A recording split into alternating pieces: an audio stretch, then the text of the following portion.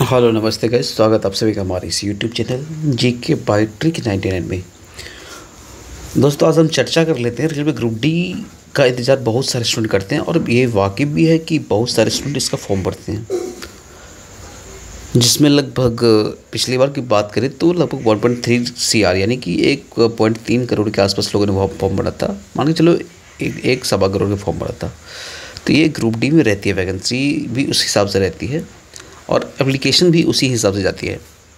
तो बहुत सारे स्टूडेंट का ये डाउट था क्योंकि बहुत सारे स्टूडेंट डिपेंडेंट भी है इस पे कि कब तक ग्रुप डी की वैकेंसी आएगी और हम भरेंगे, अपनी तैयारी करेंगे। तो मैं पहले बात कर लेता हूँ वैकेंसी कितनी आएगी, कब तक आएगी और एलिजिबिलिटी क्या रहेगी, यानी कि योग्यता क्या रहेगी, कौन से स्टूडेंट फॉर्म भर सकते हैं एज लिमिट सब कुछ पे बात कर लेता हूँ। और तैयारी कैसे करनी चाहिए? कौन से बुक को फॉलो करनी चाहिए? अभी से करनी चाहिए? वो सारी इस पर टेप की चर्चा कर लेंगे। आगे बढ़ने से पहले आप लोगों से रिक्वेस्ट करना चाहेंगे, यदि आप न्यू हो इस चैनल पर यदि पुराने भी हो सब्सक्राइब नहीं किया है तो प्लीज़ सब्सक्राइब करिए। शेयर तो नहीं करना है, कोई दिक्कत नहीं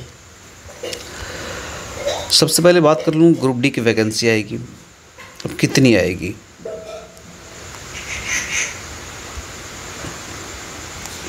देखिए पिछली बार की बात नहीं करेंगे, इस बार total railway ministry of railway की जब नोटिफिकेशन निकला था, यानी मिनिस्ट्री ऑफ़ रेलवे ने एक बयान भी दिया था और उन्होंने एक जारी भी किया था करेजेंडम जिसमें लिखा हुआ था लगभग एक लाख अड़तालीस हज़ार, या पचास हज़ार मान लो, एक लाख पचास हज़ार, एक लाख पचास हज़ार के आसपास उनको वैकेंसी क्लियर करनी है दो हज़ार चौबीस में, ठीक है? ये पच्चीस में क्लियर होगी कि नहीं कि वो नहीं बता सकता, लेकिन हाँ इलेक्शन से पहले ये मान के चलो कि इनको क्लियर करना है, और कैलेंडर जो दिया है उसको नेक्स्ट ईयर से, यानी पच्चीस से फॉलो भी करना है। यानी फिर से वैकेंसी एल की आएगी ग्रुप डी की आएगी ग्रुप डी को जो कि ग्रुप सी कर दिया गया है। और मान के चलो आर पी एफ़ जो भी वैकेंसी है, वो फिर से दो हज़ार पच्चीस में आएगी। फ़िलहाल एक लाख पचास हज़ार आपको वैकेंसी देखने को मिलेगी, सब कुछ मिला करके। जिसमें से, यानी कि एक लाख पचास हज़ार में, जिसमें से लगभग पचास हज़ार कंप्लीट हो चुका है।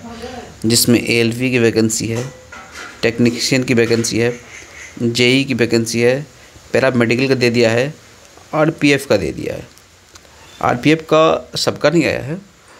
तो ये मान के चलो, मैं लगभग एक अनुमान बता देता हूँ आपको, वो पचास हज़ार प्लस पचास हज़ार के आसपास में ये क्लियर कर चुका है, पचास हज़ार के आसपास। थोड़ा बहुत ऊपर नीचे है, ठीक है? बचा कितना? एक लाख। एक लाख बचा।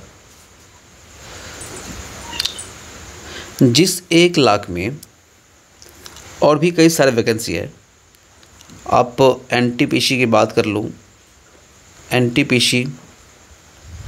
जो आएगी बीस हज़ार, उन्नीस हज़ार समथिंग बीस हज़ार तो बचा कितना? अस्सी हज़ार। आरपीएफ में भी बचा हुआ है, वो आएगी। और मान के चलो पंद्रह हज़ार दस से पंद्रह हज़ार के आसपास ये भी आती है तो पैंतीस हज़ार हो जाता है। तो बचा कितना? पैंसठ हज़ार।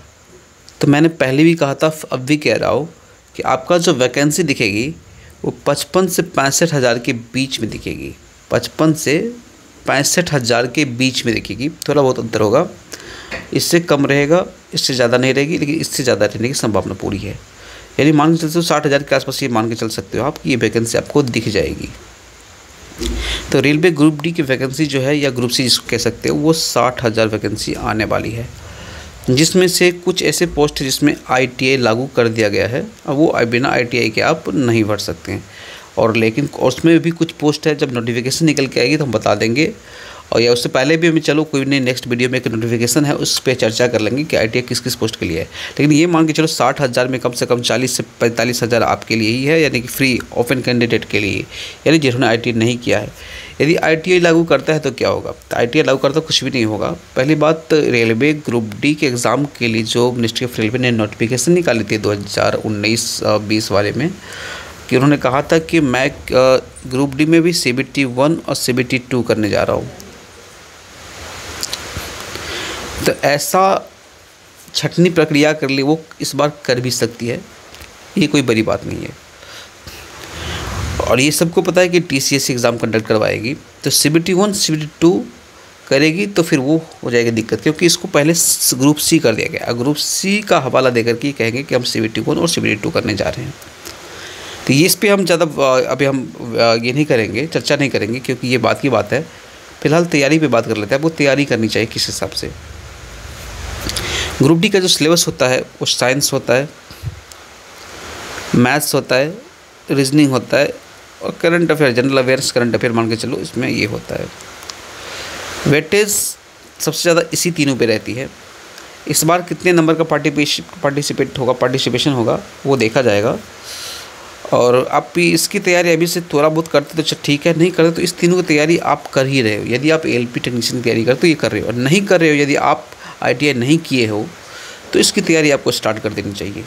साइंस की मैथ्स की रीजनिंग की, कितने नंबर का कौन रहता है तो ये मान के चलो आपको डायरेक्ट मान के चलो नाइन्टी नंबर का लेके चलना है आपको। ठीक है? Eighty five to ninety number का लेके चलना है, यही आपका रहेगा।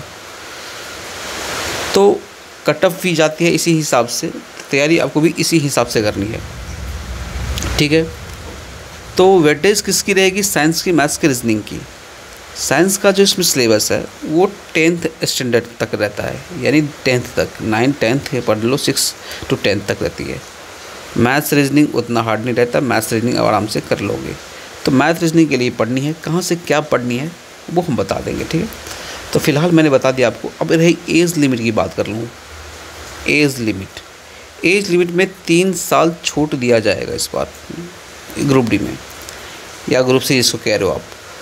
तीन साल छूट दिया जाएगा इस बार। यानी जनरल के लिए जो एज था वो तैंतीस साल था यूआर के लिए। और पैंतीस साल था, छत्तीस साल ऐसे मान लो, तैंतीस साल था, पैंतीस साल था इसके लिए। और एक मिनट गैस यू के लिए तैंतीस साल था, इसमें तीन साल प्लस कर दो, यानी कि छत्तीस साल एज हो जाता है आपका इसके लिए ग्रुप डी के लिए।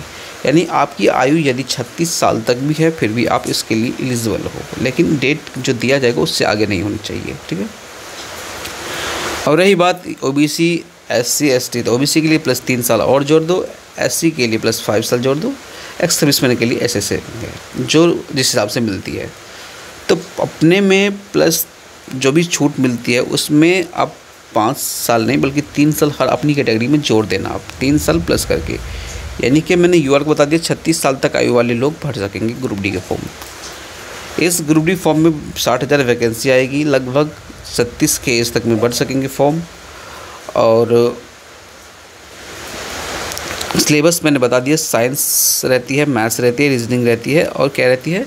जो करंट अफेयर रहती है जनरल अवेयरनेस कह सकते हो, थोड़ा बहुत थोड़ा बहुत रहता है।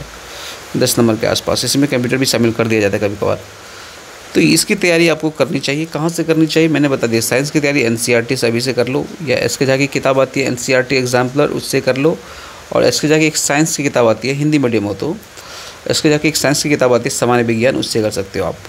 इसकी कवर हंड्रेड परसेंट हो जाएगी आपकी। रही बात मैथ्स की तो मैथ्स रीजनिंग के लिए प्रीवियस ईयर अभी से लगाओ, और उसकी फोक्स को सॉल्व करो, और नहीं तो आप आर एस अग्रवाल की किताब ले लो, उसको सॉल्व करो, ठीक है? ये आपका सिलेबस कंप्लीट हो जाएगा, आराम से इस एग्ज़ाम को निकाल लोगे। ये परसेंटाइल बेसिस एग्ज़ाम होगा, ये रिज़ल्ट जो होगा परसेंटाइल बेसिस होगा। यानी आपका यदि मार्क्स रहता है, कितना? अड़तालीस से पचास मार्क्स रहता है तो ये भी लगभग परसेंटाइल हो जाएगा आपका अट्ठासी, नब्बे के आसपास। अड़तालीस से पचास मार्क्स वाला आउट ऑफ़ हंड्रेड में भी कि नब्बे परसेंटाइल के आसपास हो जाता है, नब्बे प्लस परसेंटाइल हो जाता है। तो परसेंटाइल पे हम अलग से चर्चा कर लेंगे, वीडियो तैयार है, हम डाल देंगे अपलोड कर देंगे परसेंटाइल पे। और आप लोग कमेंट में कहोगे तब उस उस हिसाब से। तो ये रहेगा आपका। यानी कटअप की बात कर ले तो कटअप ज़्यादा नहीं रहती। आपको पता है सिंगल डे के एग्ज़ाम पे कटअप जो रहती है, वो category wise zone wise vacancy wise attempt जितना लोग करते हैं और कितना मैक्सिमम अटैम्प्ट है, यानी कितने सही करते हैं, उस हिसाब से रहती है। कैटेगरी वाइज सबका अलग अलग रहता है इसलिए सौ परसेंट ऑथेंटिक नहीं बता सकते, लेकिन इतना बता ज़रूर सकते हैं कि मैक्सिमम एग्ज़ाम देने के बाद जो निष्कर्ष निकल के आती है कि आप सिक्सटी परसेंट प्लस कर लेते हो सिक्सटी टू सेवेंटी परसेंट ला आते हो सिंगल डे के एग्ज़ाम में तो आपका मेरिट बने न बने सिलेक्शन ये क्या नाम इसका रिज़ल्ट बन ही जाएगा। लेकिन हंड्रेड परसेंट रिज़ल्ट चाहते तो सेवेंटी टू एट्टी परसेंट आप लेके चले आओ, निश्चिंत हो जाओ, आपका रिज़ल्ट हो जाएगा। अब ज़रूरी ये नहीं है कि इतनी पे हो जाएगा। चाल forty percent, fifty percent, sixty percent, seventy percent. आप कैटेगरी में हो तो उससे कम जाएगी। यू आर की मैं बता रहा हूँ। अब कैटेगरी में हो तो उससे कम जाएगी। अब कैटेगरी में नहीं हो, यू आर हो तो यू आर में सत्तर से अस्सी परसेंट आप सिक्योर कर लो। हो जाएगा। बस फाइनल सेक्शन की बात कर रहा हूँ। ये हो जाएगा। पास करने के लिए साठ सत्तर परसेंट में पास हो जाओगे। फाइनल इतने पे। तो कोशिश करनी है कि नाइन्टी में से कम से कम आप सेवेंटी के आसपास, सेवेंटी फाइव के आसपास ले आओ। और प्लस में करंट अफेयर में दो तीन नंबर आप ही जाए थे भी तब भी ठीक है ठीक है। इतना इसमें कोशिश करना, इसको इंक्रीज़ करने की। ये रही आपकी सिलेबस ये सब कुछ था। ग्रुप डी की वैकेंसी आ रही है कब तक, वो मैं बता दूँ। ग्रुप डी की वैकेंसी आ रही है, बहुत जल्द की आ रही है। आपको दिखने को मिल जाएगी। एग्ज़ाम तो नहीं होगा इस साल। एग्ज़ाम तो दिसंबर में भी नहीं होगा इसका। एग्ज़ाम आपको मार्च, अप्रैल में दिखेगा। मार्च, अप्रैल अप्रैल के बाद ही दिखेगा। मार्च, अप्रैल के बाद इसका एग्ज़ाम होगा। आपकी वैकेंसी दिख जाएगी नवंबर से पहले। नवंबर से पहले वैकेंसी दी जाएगी। और यकीन मानो अब नवंबर और दिसंबर में आपका ये भी एग्ज़ाम ले लेगा ए टेक्नीशियन का। ठीक है? और नवंबर के आसपास जब नोटिक्स का एग्ज़ाम डेट निकलेगा ना एग्ज़ाम कंप्लीट होने को रहेगी, तब इसका ग्रुप डी का वैकेंसी निकल के आ जाएगी। चलिए इस वीडियो में इतना ही। तब तक ले जय हिंद, जय भारत।